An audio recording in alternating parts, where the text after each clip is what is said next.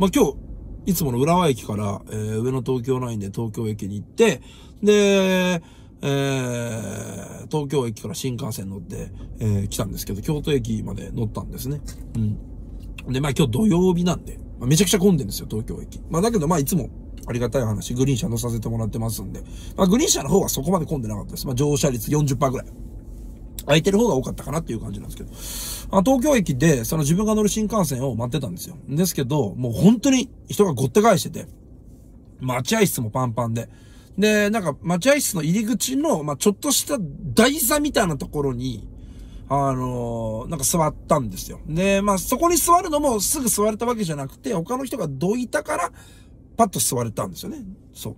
で、もうすぐ横がキオスクの荷物とかこう、積み上げられてる状態で、ほんと狭いところだったんですけど、座ったんですよ。そしたらなんか、あのー隣に、お兄さんが座ってて、めちゃくちゃガタイが良くて、そう。このなんか、キングオブファイターのさ、あの、出てくるキャラクターぐらいさ、体ごつくてさ、肉も、ブワー筋肉すごくて。そう。ほんで、なんか、タトゥー入っててさ。ほんで、なんかちょっといかつめのお兄さんだったんですよ。なんで俺なんかちょっとこう、恐縮しながらこういうちょこんって横座って。そしたらなんか横でなんかガサガサガサガサやっててさ、何やってんのかなパッて見たらさ、なんかカバンの中、中、荷物の中を、なんか整理してるんですよ。で、整理してんだけど、ガサガサガサガサガサってこうやってて、なるなと思ってパッてチラッと見たら、そんななんか、覗き込むつもりじゃなかったんだけど、まあ俺、身長が高いし、座高が高いから上から見えちゃうんですよね。パッて見たら見えてて。そしたらなんか、封筒をさ、なんかさ、取り出しててさ、なんかその封筒からなんか、万札がさ、なんかさ、こうバーって出てて、なんかそれをなんか数えてるのか、なんかしてるんですよ、横で。そう、おお金をね、いや、いろんな人がいっぱい見てるのに、いるのに、待合室にいるのに、そこでなんか、札をなんか、ごしょごしょやってるんですよね。おお札やってるな、みたいな。まあ、だからなんかあんま見たらあかんなと思って、パパってすぐこうやって、あのー見ないふりしてさ、横に座ってたんですよ。なんかお金数えとるなほんで、まあ俺がちょっと、こうじーっとしてたそしたらしばらくしたら、なんかその荷物を片付けるのを終えたっぽくて、そのお兄さんが。ほんで、なんか、普通にこうやって前にちょこんと座ったんですそしたらなんか、こう見えるわけですよ、その、こっちを見てる、その視線がね。そう、俺の目からも見えるわけですよ。なんかこっちじーっと見たなと思って。うん？と思って。やべ、さっきなんか、俺がチラッと見たの見えてたんかなと思って、そう、なこっちちょっとじーっと見たな。でもそんななんかじーっと見るわけじゃなくて、一瞬ちょっとしっかりこっちを見たな。で、その後もなんかもう一回ぐらい見てきたんですよ、こっちを。ふわっと思ったら、なんか、こう、だんだん顔近づけてくるのね。ふっと思ったら、あのーとか言ってきて、えと思ったら、石川さんですよねって言われて。え俺のこと知ってんのと思って。そう、まさかのリスナーで、石川さんですよねって言われて。あ、そうです。みたいな。あぶねえと思って。あっぶねえって、なんであっぶねえってあの、思ったかっていうと、なんか横でタトゥー入れてる人でお金数えてたから、俺放送で、その新年スポットの配信の前にオープニングでちょっと悪口言ってやろうと思ったんですよ。あっぶねえ、リスナーでよかったと思って、声かけてくれてよかったっつって、これ、あの、声かけてこなかったら俺もうちょっと悪く言おうかなと思ってたんですよ。配信で。だけど、あの、石川さんですよねって言われちゃったらもう、まあ、言葉選ぶよなっていう感じでさ、だって、これだって見るかもしんないし、ね、なんならわからんけど、もし切り抜かれたらそれも見るかもしんないからさ、いや、これちょっと、声かけられて逆に良かったやつや、みたいな。おーはい、みたいな。ですよねとかなって。そしたらなんか笑顔めちゃくちゃ可愛いお兄さんだったの。ああ、みたいな。なんかびっくりしました、みたいな。いや、こちらこそですよ、みたいな。まあ、ちょっとこれからね、つって、遠征で、みたいな。そうなんですね、みたいな。写真って撮ってもらえますか？って言われて。だけど、俺配信外写真撮ってないんですよ。配信中の、まあ、一部と、あとリア凸待ちの時は、えっ、と、写真撮ってるんですけど、配信外はちょっとお断りしてるんですよね。で、なんでかっていうと、配信外いいよとか言うと、もう、まあ、すげえ声かけられたりとか、なんか、まあ一応配信外なんでね。そう。なんで、まあ配信外はちょっとお断りしてるんですよ。言ったら、あ、見ましたよ、みたいな。あれですよ。なんか声かけたまずいやつですもんね、みたいな。あ、すいません、なんかこちらこそっていうか。いやいや、いいんですよって。配信中だったら、突待ちとかだったら全然いいんって。またそういう機会あったら、あのーよろしくお願いします。つって言って。そしたら、あ、はい、わかりました。みたいな。すごい、こうやって話してみたらめちゃくちゃいいお兄さんで。だけど、その話し終わった後にパッて時計見たら、なんか、あのー5時前ぐらいだったんですよ。でも俺、新幹線乗るのが夕方の5時12分で、まだざっくり10分ぐらいここにいなきゃいけないんですよ。で、お兄さんは結構荷物持っててまだ座ってるんですよ。どうしようかな、みたいな。会話どうしようかな、みたいな。なんか気まずいなっていう。その、ね、なんかもうありがとうございますで終わったから、どうしようかなと思って。お互いこうなんかこっち携帯見てみたいな。そしたら、なんか、察したのかお兄さんが、なんか、じゃあ僕もうこの辺でとか言って、なんか荷物持ちだからスーッと行かれて、あ、お兄さん行かれたなと思って。なんか気遣わしちゃったかなと思って、あの、まあ、そのまま終わったんですよ。いやーなんかいろんな人いるなねなんや、なんでもかんでもなんかあったことをペラペラ喋るのもちょっと怖えなと思った瞬間なんですよ。俺は結構その日常起きたことを放送で喋るし、まあなんなら結構ドキツめに喋るじゃない。そう、なんか変なババアがいてさ、とかとか言うけど、そっか、そのババアがリスナーの可能性もあるよな、みたいな。あって、わあ、声かけてくれてよかったけど、これ声かけられへんかったら、放送で、え？今なんか、石投げられた？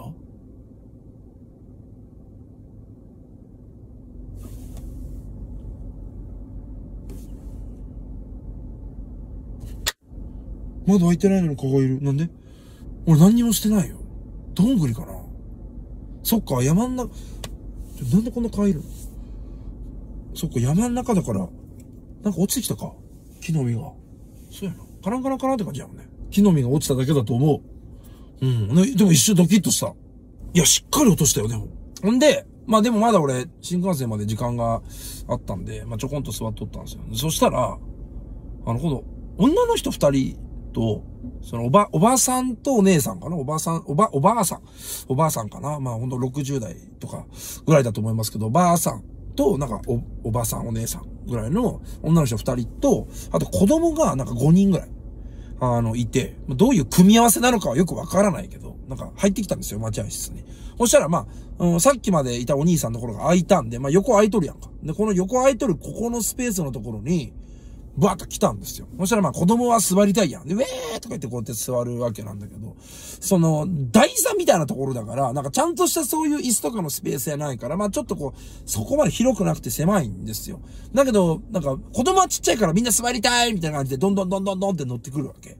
ほんで、俺は、なるべくその横を開けれるように、カバンも自分の背中に置いといたんですよ。奥行きがちょっとあるようなところだったから、台座だったから、なんか、あの、背中のリュックを、この後ろ側に置いといて、ね、横はなるべく開けるようにしたんですよ。いろんな人が座れるように。そしたら子供がバーって入ってきて、その子供がね、あの、まず、そもそもね、手にペットボトルを持ってるんですよ。だけど、そのペットボトルをなくさんようにとか、落とさんようにか知らんけど、なんか、あの、紐みたいなやつでこう手首に巻いてこうやってブランブランブランブランってさせてんですよ。なんか水筒みたいに。そう。要するにくるっと手首巻いて、ほんでなんか、こう、下げてる状態です。こう手で持つんじゃなくてぶら下げてるみたいな。それをね、バーンつって、そう、俺に当てるんですよ。こう、キャッキャキャッキャしてるから、持ってるペットボトルがブランブランブランブランってなるもんで、その、横でさ、はしゃぐもんだから俺にバチンって当たるんですよ。で、な、行ったとか思って、まあ、いたまではないけど、当たったなと思ったけど、まあ別に子供謝らんですよね。クソガキ。もうそのままにしてキャッキャッキャッキャみたいな。そしたら今度はなんか、あの、俺のさ、その後ろに置いてあるさ、その、リュックをね、倒すんですよ。バターンつって。そう。はしゃぐもんだから当たるわけよ。その手とかがさ、リュックに当たるわけよね。立て、立てかけといたリュックも倒したんですよ。バチンつって。だけど知らんぷりなんですよ。で、そのままわーってやりながら、なんか、あのー、荷物がやる、荷物がやるとかって言ってんのガキが。いや、俺の荷物やからね。そう、人の荷物がやるとかって、なんかその5人ぐらいのガキがなんか喋ってるんですよ。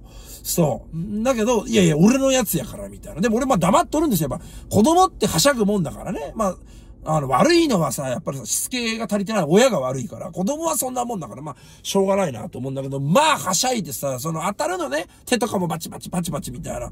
だけどさ、その、あの、ばあさんとさ、そのお姉さんがさ、もう、なんかしっかり注意しないんだよね。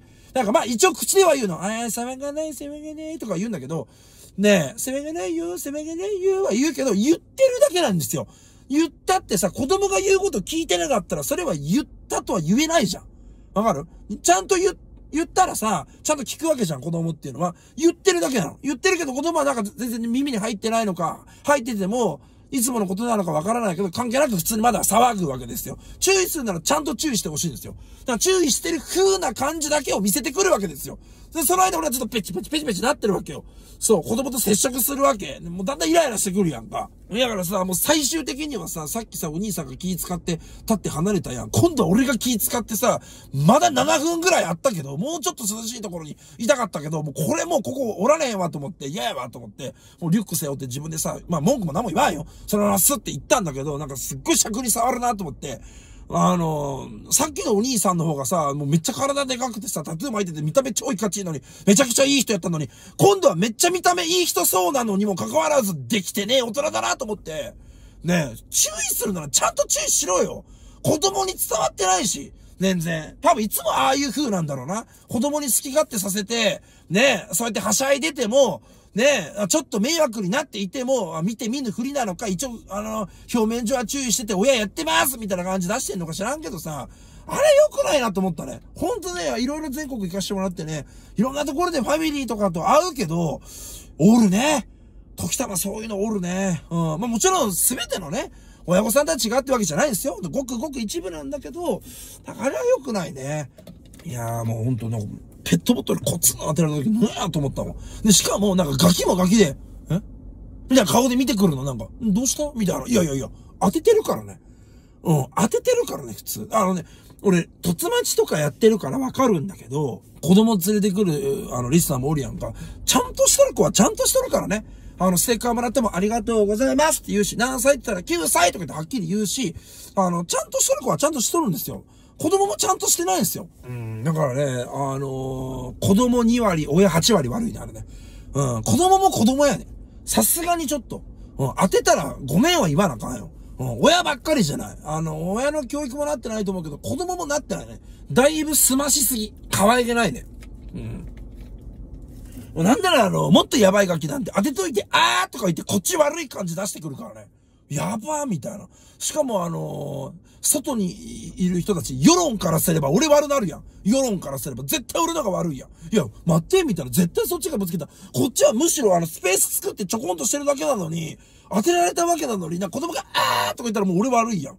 そんなの。絶対悪いやんか。わ、怖ーと思って。で、俺が注意したらさ、なんかさ、急になんかさ、親とかがさ、こうやって子供の顔こうやって、あの、子供にそんな本気になるなんて、大人げないんじゃないんですか？とかって言うんだよ。そういうババアに限ってさ。絶対言うの。俺が、ダメだよ。そういうこと言ったら、あ、すいません、うちの子が、でもとか言って、でも、バーッとか言って、バーッととか言って、でも、そこまで言う必要はないんじゃないんですか？とか、もうちょっとあるんじゃないですか？とかって言うんだよね。そういうのに限ってね。私はいつまでもやります。よろしくお願いします。僕にとって配信は遊びじゃねえ。お疲れ様でした。Thank you! です。